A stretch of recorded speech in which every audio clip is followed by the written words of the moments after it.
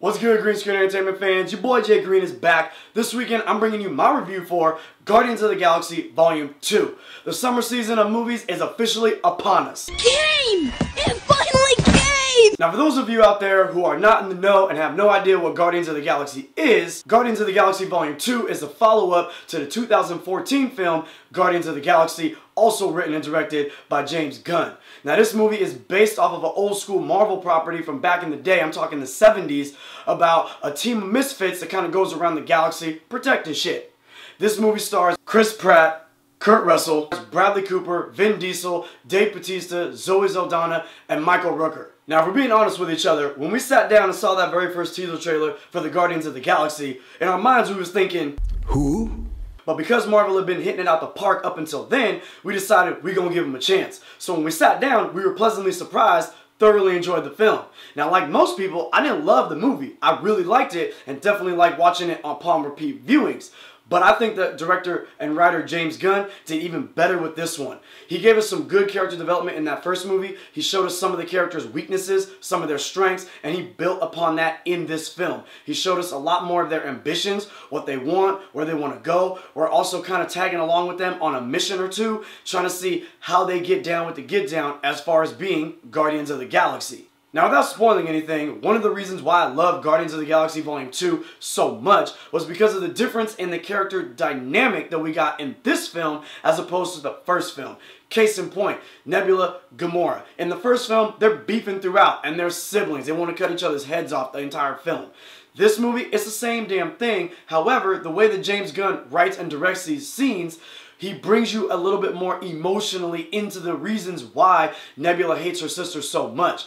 Doesn't mean you're going to start rooting for Nebula right off the bat. We're still on Gamora's side, but it definitely holds more weight in the scene, more tension in the scene, and it's more entertaining throughout because you understand the backstory as to why Nebula has so much hatred for Gamora. Star-Lord and his dad. We don't know in the first movie why he left him with Yondu, why he never came back to get him, or who his dad actually is. In this movie, we find out that Kurt Russell, playing Ego the Living Planet, You are the father!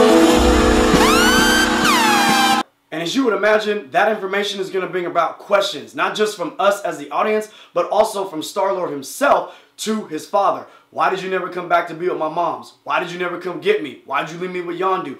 All of those questions that we're asking and he's asking get answered throughout this entire film. The answers are fulfilling, they're entertaining, and they also lead to a pretty interesting ending. That's all I'm to say. And of course, we're to get some great scenes from Drax, Rocket Raccoon, Baby Groot is cute, Yondu. But in the end of the day, the scene stealers, the people that stole the entire show, was Bradley Cooper as Rocket Raccoon and Michael Rooker as Yondu. When those two are on screen together, it's electric, it's entertaining, it's witty. They play off of each other extremely well. And when they're one-on-one, getting it, watching them get into their little shenanigans or get out of their little shenanigans is just as entertaining. Yondu brings back that little arrow that when he be whistling, it be zipping around killing fools. And in this movie, we get a legitimate scene where he's murking hella people way more than he did in the first movie. Enough nonsense, Ravager! Time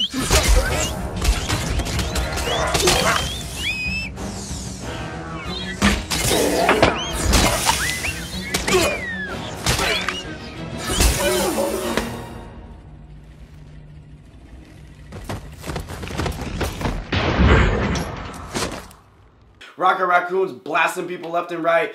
We also get some more emotional tidbits from both of those characters.